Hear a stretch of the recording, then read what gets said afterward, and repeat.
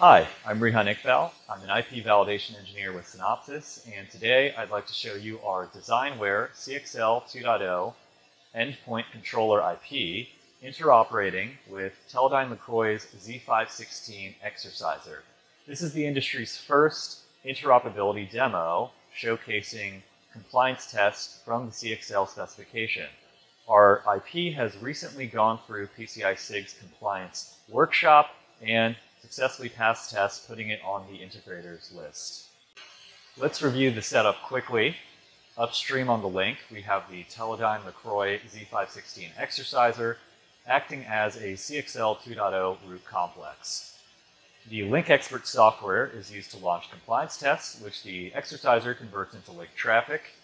This traffic reads and writes and configs, gets sent out through the PXP 500 test platform, which acts as a backplane.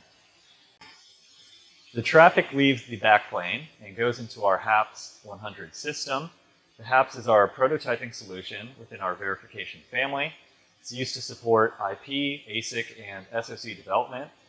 It allows teams to get started with firmware development and system validation earlier in the design cycle before test chips are available using FPGAs and accessories to prototype the system hardware.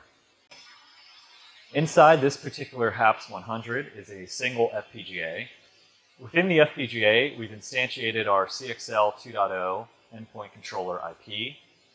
In the middle of the link, between the Teledyne LeCroy exerciser and the Synopsys endpoint, is a Teledyne LeCroy T54 analyzer. This will capture the link traffic, analyze it, and tell us whether we are passing CXL compliance tests. And here we have our hardware in the lab. We have our Teledyne LeCroy Z516 exerciser card. So this is generating link traffic, reads and writes and config requests. It's plugged into this PXP 500 test platform. And also plugged into the test platform is this analyzer. So through this ribbon cable, we can trace this up here to the Summit T54 analyzer. And this is analyzing link traffic. And the third item that's plugged into the platform is our device. So if we look through this interposer card and adapter card on the other end of these cables, we see that it's plugged into a Synopsys HAPS 100 unit. Again, this is our prototyping platform. It has a single FPGA in it, and that has our DesignWare CXL 2.0 endpoint controller IP. So key point to note here is that Teledyne LeCroy is not using a Synopsys IP within the Z516 exerciser equipment. So this setup actually has two independent implementations of the CXL 2.0 specification. So this is a key point for interoperability. This gives us both confidence that we'll work with other vendors in this ecosystem. It also gives us confidence that the maturity of the ecosystem is growing as the availability of tools and hardware and software grows over time. We can see the results of this successful interop within Teledyne LeCroy's Link Expert software. This tool will launch compliance tests as defined by Chapter 14 of the CXL 2.0 specification. In this case, we're targeting our endpoint. Uh, this compliance test package includes link layer tests, ArbMux tests, physical layer tests, config register tests, and so on. And as the tool runs, it reports pass-fail results, and it will also capture trace files for each test case.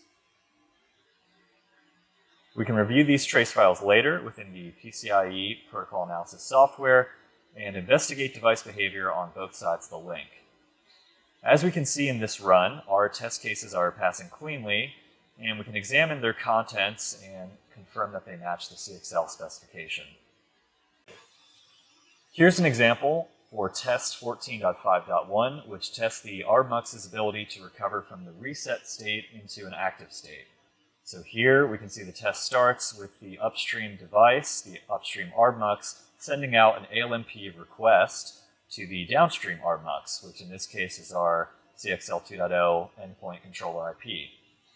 The downstream device responds back with its status, which we see in these two packets, and it also forwards a request to the upstream device in these two packets. The upstream device will complete the handshake. It sends back its status to the downstream device in these two packets. And at this point, the link becomes active and we see the exchange of flow control packets. We work closely with our partners to ensure that our IP is not only compliant with the CXL 2.0 specification, but that it interoperates with other hardware and software vendors within the CXL ecosystem as well. Both of these pieces are required for I.O. protocol success. For more information on PCI Express or CXL solutions, please visit the Synopsys Designware IP webpage. Thanks very much for watching.